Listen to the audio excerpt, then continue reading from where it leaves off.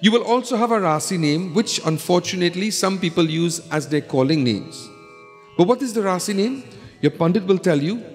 Your Rashi name is a name that is given to you that matches your astrology and the configuration of the planets at your time of birth.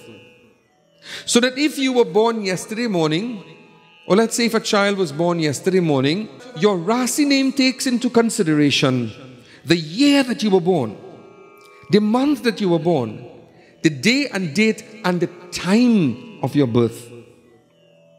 And so a name is given that is specific for the configuration or the alignment of the stars at that particular time of your birth. But why is that name so important? It has a quasi or a kind of genetic connotation to you. In that, that Rashi name has a Devta that empowers you every time you think of that particular deity. It has a certain energy that creates an upsurge of power that could help you to develop successfully understanding which day of the week matches that particular configuration. There are colors that emit energies for you that would be very lucky for you. They say lucky color and lucky stone and lucky metal. Why is it lucky?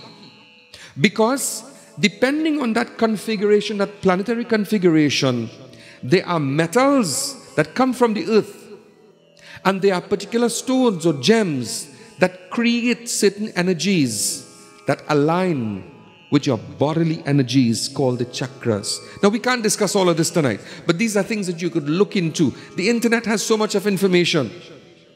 So, not only when you pick up your phone, go on Twitter and Facebook. Sometimes when you pick up your phone, go on the internet and look up and see and find out what are your lucky colors and who is your Ishdevata. All of these things are available online for you in many different astrological sites that are readily accessible. And these are things that you should know. Do you know that there are certain days, if you buy a car, the chances are, if you buy the car on a nakshatra that is an immobile or unmoving nakshatra, it will constantly break down, no matter if it's a new vehicle. You're going down the road and bam, somebody hit you. You have to pack it up for two months until the insurance company decides they'll fix it.